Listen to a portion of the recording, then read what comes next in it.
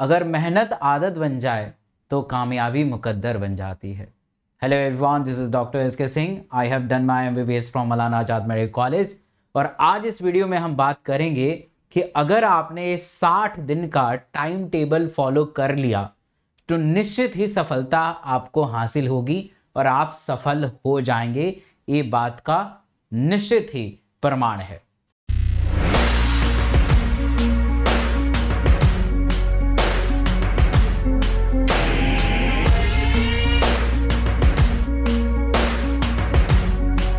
Time table एक ऐसा चीज़ है जो आपको प्रॉपर तरीके से सिखाता है कि आपको कैसे कैसे, कब कब क्या क्या करना है। अब मैं एक छोटे से उदाहरण से समझाऊँगा आपको कि मान लीजिए कि मुझे प्लान नहीं है कि आज क्या करना है तो शायद मेरा ये आज का दिन जो है वेस्ट हो जाएगा। बट मेरा अगर प्लान है कि आज मुझे मूवी देखने जाना है है ना, उस रिलेटिव से मिलने जाना है और फिर उसके बाद लौटते समय, है ना और अपने घर की तरफ़ आना है। तो शायद मैं मूवी भी देख पाऊँगा और उस रिलेटिव से मिल भी लूँगा और सही समय पे अपने घर पे लौट भी आऊँगा। तो इसका मतलब ये है कि पढ़ाई भी कुछ ऐसा ही है। अगर आप प्रॉपर तरीके से प्लान आउट नहीं करेंगे तो आपकी पढ़ाई जो है ऐसी ही रेंडमली हो जाएगी। इसलिए आदत आपको बनानी पड़ेगी एक प्रॉपर वे से पढ़ने का। आज मैं उन तमाम परफेक्ट टाइम टेबल को शेयर करूँगा जो वाकई आपके 60 दिन को बेहतर बनाएगा और आप इस 60 दिन में बहुत कमाल का करेंगे। एक चीज़ ध्यान रखिएगा कि कोई भी आदत को बॉडी में एडप्ट होने के लिए वक्त लगता है। ऐसा माना जाता है कि 45 डेज़ का वक्त लगता है, तब जाके वो आदत जो है वो आपके बॉडी में अच्छे तरीके से समा जाएगी। अब क्या होता है कि बहुत सारे नीट के एस्पिरेंट जो है, रात में बहुत ज़्यादा जगते हैं और दिन भर सोते हैं। अब आपका नीट का एग्ज़ाम जो है, दो से पाँच के बीच में है। अब आप बॉडी को ऐसे ही आपने अडेप्ट किया है कि दो से पाँच में आपको नींद आती है। तो उस समय जहाँ पे आपने दो साल, तीन साल पढ़ाई की है, वहाँ पे आउटपुट ज़्यादा आना चाहिए था, बट उस समय आउटपुट नहीं आएगा क्योंकि आपका जो दिमाग है, वो सोएगा। तो बेहतर विकल्प क्या है? बेहतर विकल्प ये है कि आपको जो है, प्रॉपर तरीके से आपको दिन में एक्टिव रहना पड़ेगा। अब आप पुरानी आदतों को छोड़ दीजिए और दिन में जो है आप प्रॉपर तरीके से, है ना एक्टिव रहना शुरू करिए। तो आइए आपको लिए चलते हैं एक परफेक्ट टाइम टेबल के जगह पे। तो परफेक्ट टाइम टेबल क्या हो सकता है? ठीक है, साठ दिन का, उसके बारे में हम चर्चा करेंगे और आप इसको प्रॉपर साठ दिन के लिए रखिएगा। देखिए, कैसा कहा जाता है कि the major of intelligence is ability to change अपने अंदर जब तक बदलाव नहीं लाएँगे, तब तक आप इंटेलिजेंट नहीं हो पाएँगे। तो बदलाव लाना ज़रूरी है। जिस हिसाब से आप पढ़ रहे हैं, जिस हिसाब से आप सो रहे हैं, जिस हिसाब से खाना खा रहे हैं एक एक चीज़ काउंट होता है नीट के सिलेक्शन के लिए। अब पूरे टाइम टेबल को मैंने तीन हिस्सों में डिवाइड किया है। मॉर्निंग का हिस्सा, है ना? और आफ्टरनून का हिस्सा, और लास्ट में इवनिंग और नाइट का हिस्सा।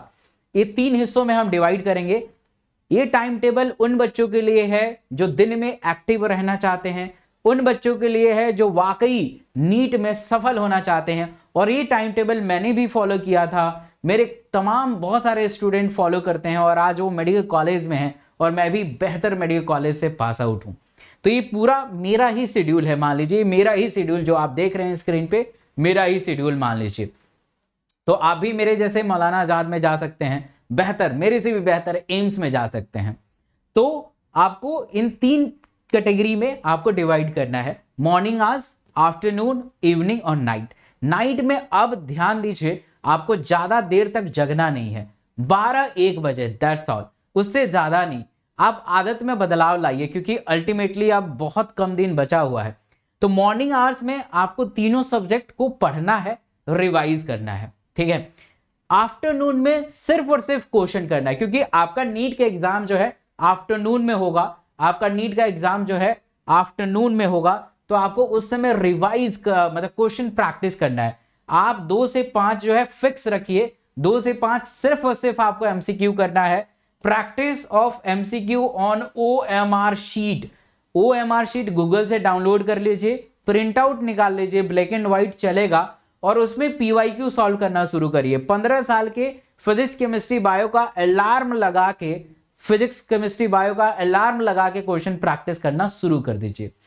इसके अलावा मॉक टेस्ट जिसमें फिजिक्स केमिस्ट्री बायो होंगे, वो करना शुरू कर दीजिए। मतलब दो से पाँच is devoted only for the practice question ताकि आपके ब्रेन के अंदर ये इंफॉर्मेशन चला जाए कि दो से पाँच जो है खाली प्रैक्टिस करता है। ये दो से पाँच जो है अपने ब्रेन के मैक्सिमम आउटपुट को जनरेट करने की कोशिश करता है ताकि आपका ब्रेन जो है एडप्ट हो जाए दो से पाँच के लिए और आप बेहतर प्रदर्शन करें नीट के अंदर। कई बार ऐसा देखा जाता है और आपने सुना भी होगा कि बहुत सारे स्टूडेंट बहुत अच्छा प्रदर्शन करते हैं, अपने इंस्टीट्यूट में मॉक टेस्ट में मचा देते हैं, बहुत ही बेहतर उनका प्रदर्शन रहता है। और नीट में सेलेक्ट नहीं हो पाते हैं। यही कारण है, क्योंकि वो अपने बॉडी को अडेप्ट ही नहीं कर पा रहे हैं, है ना? उनको जब ब्रेन से ज़्यादा आउटपुट की ज़रूरत है, उस समय ज़्यादा आउटपुट उनको मिल नहीं पाया है। तो ये बहुत बड़ा कारण बन जाता है। तो अभी से अपने ब्रेन को ट्रेन करिए। अब दो से पाँच आपने एमसीक्यू कर लिया। अब जो इवनिंग आर है, उसमें रिवीजन होना चाहिए बैकलॉग जो छूटा है, वो होना चाहिए। और सबसे इंपॉर्टेंट है, जो दो आपने दो से पाँच का पेपर लिखा है, उसको प्रॉपर एनालाइज करना इंपॉर्टेंट है। जो आपको क्वेश्चन नहीं आते हैं, उन क्वेश्चन को पढ़िए अपने नोटबुक में पढ़िए, अपने जो भी आपने पूरा साल पढ़ा है, उसको पढ़िए, देखिए कि क्या कमी है है ना? और एक सेपरेट नोटबुक बनाइए पीवाईक्यू का मॉक टेस्ट का। जो जो गलती हो रही है, जो एक्स्ट्रा क्वेश्चन है, जो आपको नहीं आते हैं, उस नोटबुक में आप एनालाइज करते वक्त लिखिए। आप देखेंगे दस साल के जब आप क्वेश्चन कर लेंगे, कुछ पाँच से सात मॉक टेस्ट कर लेंगे तो आपका जो परफॉर्मेंस है धीरे धीरे बढ़ना शुरू हो जाएगा। आइए थोड़ा और डिटेल में जानने की कोशिश करते हैं। मॉर्निंग आवर अब देखिए, मैंने यहाँ पे तीन तीन घंटे लिया है। तीन घंटा, दो घंटा। इसके पीछे क्या रीजन है?